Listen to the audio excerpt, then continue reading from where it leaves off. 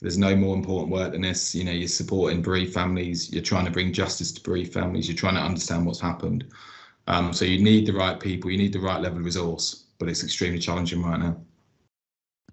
Yeah, and of course we, you know, we've been talking here about road deaths, and quite rightly so. That that is um, something that is extremely traumatic for families. But we could be just below that and talking about those with catastrophic injuries, those uh, traumatic brain injuries or paralysis or loss of limbs, which, you know, whilst um, we, we've only really counted in the statistics so far, or, or, talking about the murder to death rate on the road. So that's only talking about those fatal collisions. There are thousands and thousands more where there's this catastrophic injury. And as the pressures uh, increase, it seems that more resource or the limited resource that's available deals with all of those fatal cases. And quite rightly so, that's not a criticism in any way.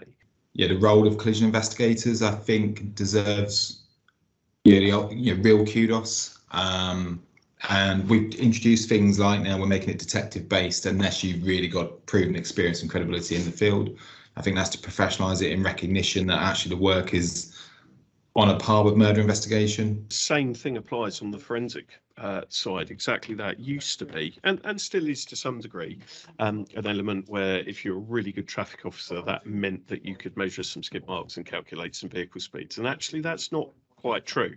That doesn't mean that can't happen. In fact, there are a number of cases up and uh, examples up and down the country where you've got really good collision investigators from that principle.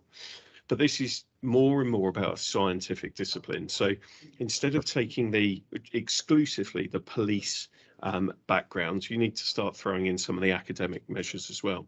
I think when we're gazing into the future, autonomous vehicles are the thing that are coming over the hill at us quite quickly, uh, and we need to uh, understand how we're going to deal with them.